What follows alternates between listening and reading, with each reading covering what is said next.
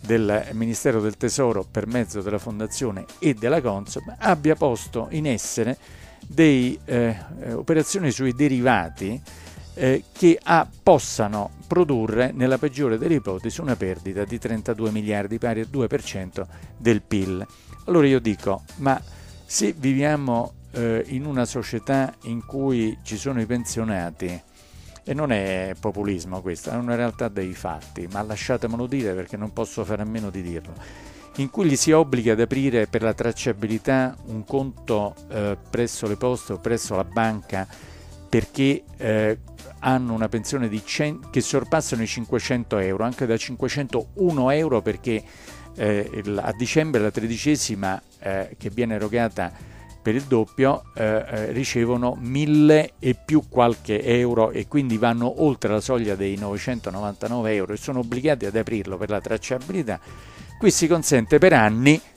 delle istituzioni come una banca di eh, tenere nel cassetto, di non far eh, esplicitare addirittura una potenziale perdita di 32 miliardi di euro. Cioè qualche cosa non funziona o si sta chiedendo eh, troppo ai pensionati che guadagnano più di 500 euro al mese di aprire il conto, oppure lì qualcuno ha avuto non solo gli occhi chiusi, ma anche la bocca, le orecchie e un pochino tutto quanto chiuso. Lasciatemelo dire perché questa è la sensazione.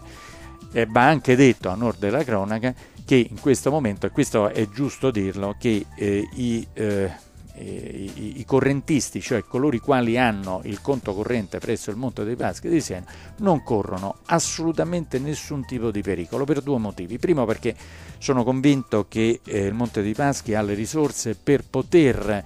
eh, risolvere il tutto, o perlomeno ce l'auguriamo. Nel caso in cui questo non fosse possibile, vi ricordo che l'Italia ha una istituzione ottima, meravigliosa, che si chiama Fondo Interbancario Tutela Depositi, che eh, ci pone un po' all'avanguardia negli ordinamenti eh, mondiali per quanto riguarda la tutela dei depositi, perché subentra nel caso in cui il, l'istituto, mm, la banca, non riesce più eh, a onorare gli impegni nei confronti dei propri correntisti dei depositi per un importo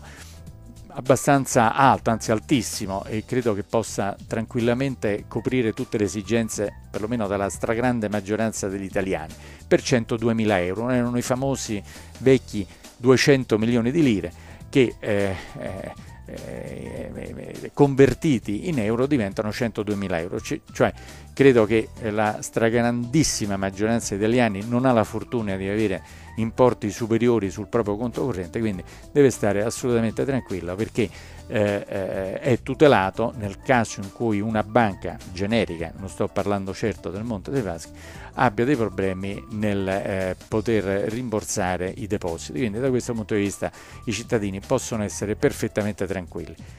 coloro i quali naturalmente hanno un rapporto diretto col Monte dei Paschi. Chi invece non deve essere molto tranquillo, oltre agli amministratori, perché a questo punto è necessario, me lo auspico da cittadino italiano, che la magistratura faccia prontamente eh, chiarezza su quello che è avvenuto e se ci sono delle responsabilità di individuare immediatamente i responsabili e veramente buttare buttare le chiavi. Anche qui non voglio fare il solito populismo. Abbiamo visto ieri le scene lì di Fabrizio Corona, che insomma sì, è un guappo, io lo considero un guappo, eh, un, uno scaramouche, ma insomma mm, più di, di, di, di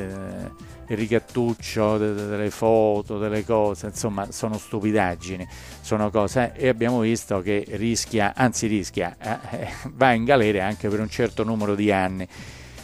Mi auguro che con, stessa, eh, con, lo stesso metro, se ci sono dei responsabili, vengano eh, diciamo, messi in galera. A questo punto credo che le chiavi veramente debbano essere buttate se, ben, se viene utilizzato lo stesso tempo, se tanto mi dà tanto, questo è ovvio.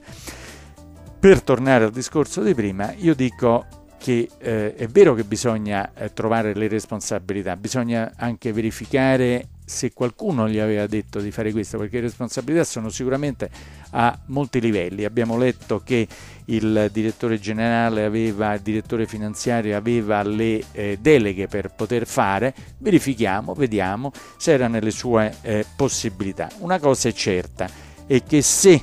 l'esposizione eh, massima a cui potrebbe andare incontro eh, il, il, buco che si crea è di 32 miliardi, io ho fatto un rapido calcolo, costerebbe al contribuente italiano dal bambino che è nato in questo momento, in, mentre stiamo parlando, fino al centenario, eh, più di 500 euro a persona e francamente non voglio, non voglio andare oltre. È chiaro che quando si dice eh, è una speculazione, eh, visto il clima elettorale, quando si dice ah l'IMO è andata a finire, no, eh, chiaramente l'IMO non è che è andata a finire lì, perché non c'è una corrispondenza diretta eh, chiaramente fra quello che entra e quello che esce, è evidente. Però va da sé, va da sé che se in futuro anche un solo centesimo eh, di denaro pubblico va a finire per parare alcuni danni compiuti per la responsabilità di qualcuno di una banca, e allora cari signori, scusate se mi permetto di dirlo, ma insomma ogni tanto Sgarbi lo dice, lo dico pure io tranquillamente, allora mi incazzo veramente forte. Scusatemi, ma non ho altre parole per poter definire, non è, non è sicuramente un termine, vedo dall'altra parte del vetro che c'è Matteo che mi sta dicendo finalmente, l'hai detto, va bene, ma se un solo centesimo dei soldi che noi abbiamo eh, dato eh, provenienti da una miriade di tassazione eccetera va a finire nelle casse del Monte dei Paschi, mi dispiace io da cittadino veramente, e ve lo ripeto, mi incazzo come una bestia, perché eh, mi rendo perfettamente conto che ci siano dei problemi, ma cercano, cerchiamo che questi problemi se li risolvano direttamente, direttamente loro. E chi soprattutto ha fatto degli errori, mi dispiace, ma deve essere preso, messo in galera, va bene, e deve pagare nella maniera più assoluta lo sbaglio che ha fatto. Su questo, scusate, eh, l'aria è cambiata, eh, mi sento tranquillamente di dirlo, mi sento meglio nell'averlo detto, vi dico sinceramente, ma eh, situazioni in cui lo Stato subentra per parare i, i, i danni eh, non li voglio più vedere, mi dispiace, abbiamo dato e con questo spero che fra sabato e domenica ci sia qualche chiarimento. E ripeto non deve essere utilizzato a livello politico però se ci sono delle responsabilità emergano. Vediamo chi è che è stato a consigliare nel fare queste operazioni con eh, la banca d'affari eh, internazionale giapponese Nomura. Andiamo a vedere chi sono i consulenti va bene che hanno eh, dato il via libera, che hanno consigliato nel fare queste operazioni e dopodiché si capirà se ci sono delle responsabilità. E se ci sono mi dispiace devono veramente questa volta pagare anche perché sia di remora nei confronti di altre situazioni eh, in modo tale che non se ne verificano più. È chiaro che se non produce nessun tipo di effetti nessun tipo di di, di, di, di, condanna da parte di nessuno, se ci sono delle responsabilità, ma credo che ce ne siano, vi dico sinceramente, dopo alla fine la gente ci prende gusto a farla. No? D'altronde mi rendo anche conto che dall'altra parte eh, dell'oceano eh, eh, lo stesso Obama quando ci fu eh, quando, state, quando, c'è stata la necessità di fare alcuni salvataggi non sono stati fatti, non sono stati fatti, sono stati lasciati al proprio destino, sempre sulla regola che quando si guadagnava i soldi andavano all'azionista, quando invece si perdeva i soldi vanno a finire nel conto della comunità, mi dispiace, abbiamo dato, la situazione economica è quella che è, se qui qualcuno ha sbagliato, ha da pagare e su questo vi auguro buon sabato e buona domenica e speriamo lunedì di avere notizie migliori. Nel frattempo, scusatemi se ve lo ripeto, sono incazzato nero.